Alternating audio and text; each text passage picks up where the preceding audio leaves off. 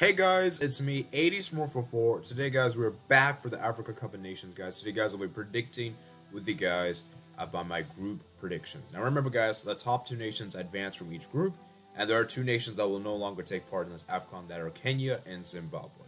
So commiserations to the, both those nations. They have been disqualified for, I believe, um, uh, for I believe internal issues. So I'll not specify too much because I don't want to get too uh, much into that kind of topic, but um, just understand that those two nations will not be able to partake. And because it's a group stage, because we have a lot of groups to go down, guys, I'm not gonna really de go detail by group. We're not gonna go by. We're not gonna like go ahead and like give hours and hours. You know, I want to keep this around 10 minutes at the very most. So you know, I won't be fully analytical here. So just understand that if I'm giving, a, I'm just trying to do this as concise as I can. Without further ado, let's go and get started. So Group A, we have Guinea-Bissau, Mauritius, Nigeria, Sierra Leone. Um, this is really interesting. I think it's very obvious Nigeria is going to top this group. They have the quality of players. I don't need to mention all the players. They're one of the best nations in Africa. I know they didn't qualify for the World Cup, guys. I know that already. So some of you guys don't need to let me know. I know they did it. However, I still think they are amongst the top 10 best in Africa. Now it's going to be really tricky between Guinea-Bissau and Sierra Leone. This is for me a battle between these two nations. Mauritius, I think they're finishing last. This is tough. This is really, really tough, guys. But I am going to go with, I've been more and more impressed with Sierra Leone. Especially what they did in the AFCON. And I just feel as though that what they did in the AFCON was very commendable. And I just feel like, though, that AFCON performance, it will continue here. It's going to be very close because I think Guinea-Bissau will give them a very tough go. And I think both games could end up being very close. I just think Sierra Leone will just have the edge here and I think they'll top the group mainly by their goal difference. And remember, they have a very good goalkeeper. And the defense can be very key. So I actually think Sierra Leone will do this. It'll be very close. Although, like I said, though, I Guinea-Bissau have definitely what it takes to very much battle for that second place. I wouldn't be surprised. Group B, we got Burkina Faso, Cape Verde, Estonia, Togo. I think this is very straightforward, guys. I think this is very straightforward. I think Burkina Faso, Cape Verde are going to progress through. Uh, Togo Estonia, I don't really think have the quality of players to compete, and um, yeah, I think this is straightforward. Um, I, will be very surprised if we have any other any other results. As far as top in the group is concerned, let me just give you guys my top pick. I am going to go with Burkina Faso. I think Burkina Faso, for what they did, get into AFCON semifinals, I think is very commendable. And for Cape Verde, they got to the round of 16 of the last AFCON indeed. So yeah. Um, let's move on to Group C. We got Burundi, Cameroon, Kenya, Nambia. Um, Cameroon should definitely top this group. They're in the World Cup, of course. That's pretty straightforward. Now, for second place, obviously we know Kenya will not compete, so let's disregard them. So it's going to come down to Burundi and Nambia. And I'm going to say this, this is really tough. This is really, really tough, guys. However, I'm going to go for a very interesting prediction. I, I do think Nambia, from what I've seen, I think could be one of the dark horses. I think they could be one of the surprise teams that make the AFCON. And I think that they could surprise a lot of people. I think they will uh, qualify, but it's going to be very close. It's going to be very close for them in Burundi for that second place spot. I'm giving the edge to Nambia. However, I wouldn't be surprised to see Burundi. So for me, it's going to be very difficult. But I'm going to go with Nambia for this one just because I feel like there's something more uh, coming up. I feel like Namibia could surprise people here in this one. Uh, Group D, we got Egypt, Ethiopia, Ethiopia, Guinea, Malawi. Now, this is very tricky. Obviously, first is straightforward. Egypt is first. That's easy. Now, second place is very tricky. You got Ethiopia, Guinea, and Malawi. Now, all these nations, I believe, if I'm not mistaken, did partake in the last AFCON. So now, um, one of these two, one of these nations, uh, two of these nations is going to miss out. Which of the two is going to miss out?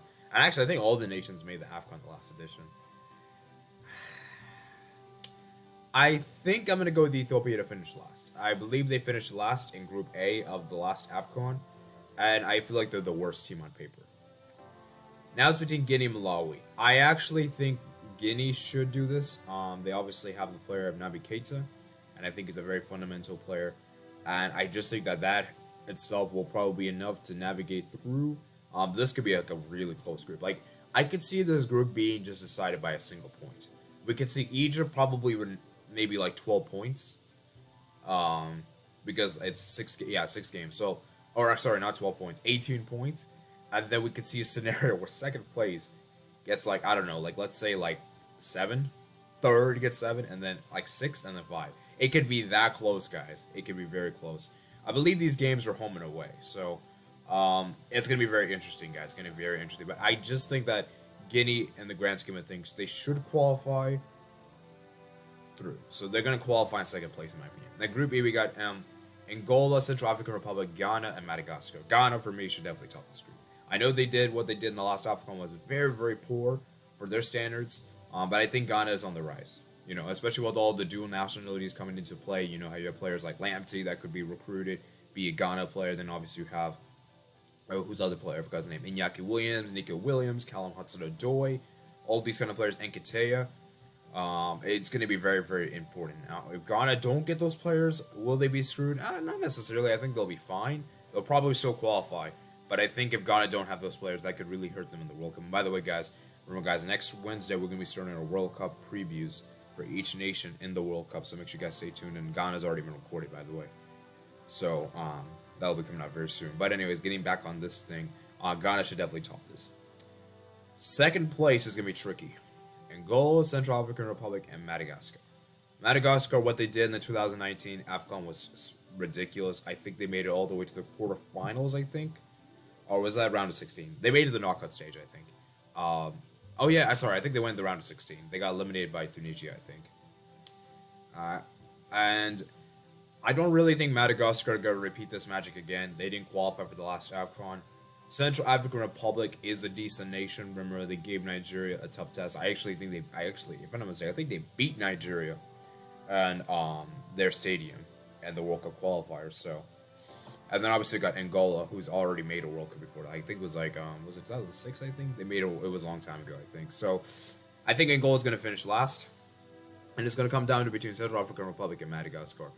I would love to see Madagascar back. I would love, love to see it, guys. But if I'm being objective here, I don't think Madagascar, I think Madagascar have fallen off. I don't think they're going to do this again. And I just feel as though Central African Republic is going to do this through. It's going to be close. This could come down to goal difference or head to head or whatever. Um, maybe even a single point. Maybe even goals for scored. Um, but I actually think Central African Republic will just edge this narrowly, guys. Central African Republic are going to edge this narrowly. This is a good one, though. This is a tough one to call. But I'm going to go Central African Republic just to narrowly edge this one. The group, group F got Algeria, Nigeria, Tanzania, uh, Uganda. I think this is very straightforward for Algeria. They should definitely top this group. Now, second place is very tricky. Second place is very, very tricky, guys. Very tricky indeed. You got Niger, Tanzania, Uganda. Last, I think it's going to be Tanzania. This is tough. This is really tough, guys, between Niger and Uganda. Really tough. Even Tanzania, I'm not sure they'll finish last. I might give the edge to Uganda, and I say that because I feel like I just feel they'll do something in this one. This one, I'm not so sure about this one.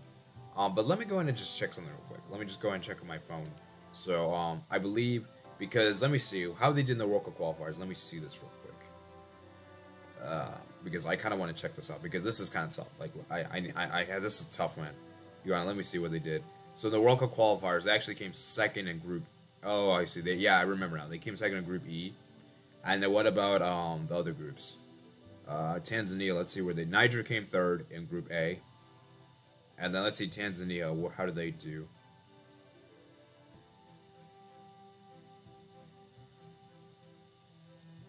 Um, Tanzania. Let's see. Where did they do? They came third. Wow, they were in the same group as um. Hmm. This is tough, guys. This is really tough.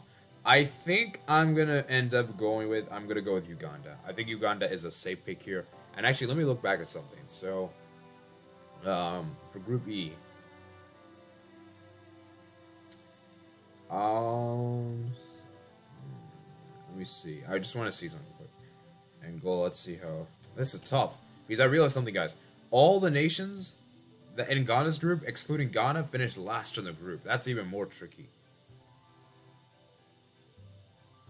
But I'm still gonna go with I'm still gonna go Central African Republic. I think they'll do this, guys. I think they'll do this, but this could be very tough. Or maybe Madagascar, I should say. And they even have um let me see this real quick. They all have a negative goal difference. And they all got roughly around the same points, five and four points respectively. Oh man, this is really tricky. But I'm still gonna go. You know what? I'm not gonna change my prediction. I'm gonna go Central African Republic. D don't change your mind. Let's just keep it as it. But who knows what could happen way. Um, let's move on to Group G, guys. We got Congo, Gambia, Mali, South Sudan. Okay, this one's. I feel like this is straightforward.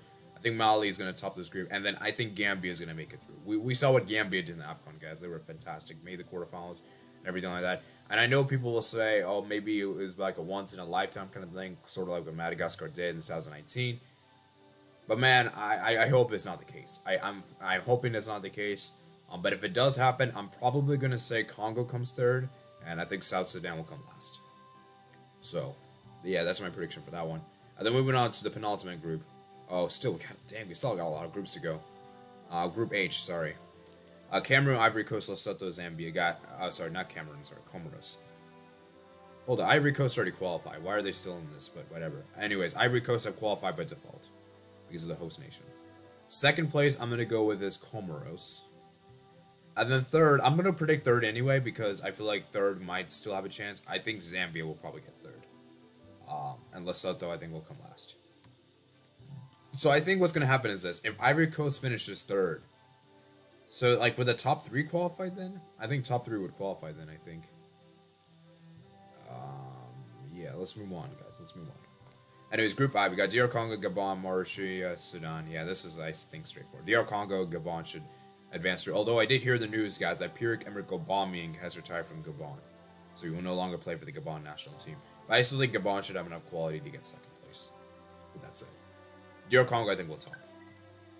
Group J, we got Botswana, Equatorial Guinea, Libya, Tunisia. Now, I think Tunisia is going to top, and I'm going to go with Equatorial Guinea. I think Equatorial Guinea actually defeated Tunisia in the World Cup qualifiers the first round. Um, and so I think Equatorial Guinea have enough quality. And remember, guys, they were in the AFCON, I believe. So I think they'll get this job done. And the Group K, guys. Group K, the penultimate group. Here we go, guys. Lib Liberia, Morocco, South Africa, Zimbabwe. Remember, guys, Zimbabwe will not take part anymore because they've been disqualified everything like that. So we have Morocco. For me, I think this is straightforward. I think Morocco and South Africa should make it. That's South Africa, man. They better make this one because they missed the last AFCON, which is pretty crazy. Um, if they miss it out again, man, that's going to be really bad. But they should. They Let me just say this right now. They should make it through. And then finally, the final group we got is Group L. We got probably the maybe the toughest group. Actually, nah, this isn't the toughest one. Um, there's another group that's even tougher. So we got Benin, Mozambique, Rwanda, Senegal. Senegal should definitely top this group. Second, I think Benin should come second. I think they were the nation that defeated uh, Morocco on penalties, I think. So, uh, 2019 AFCON. So I think they'll make it through. So let me go ahead and reiterate my predictions. So, do, do a quick recap. So, Group A, guys, I got Nigeria, Sierra Leone. Uh, group B, I got Burkina Faso, Cape Verde. Group C, I got Cameroon and Namibia. Group D, I got Egypt and Guinea. Group E, I got Ghana and Central African Republic. Group F, I got Algeria and Uganda. Group G, I got Mali and Gambia. Group H, I got Ivory Coast and uh, Comoros. Actually, thinking, do I change my mind? Nah, I'm not going to change my mind. I think Comoros and Zambia will qualify anyway. Um, okay. Uh, group I, I'm going to go DR Congo Gabon. And then Group J, I'm going to go Tunisia, Equatorial Guinea. And Group K, I'm going to go to Morocco and South Africa.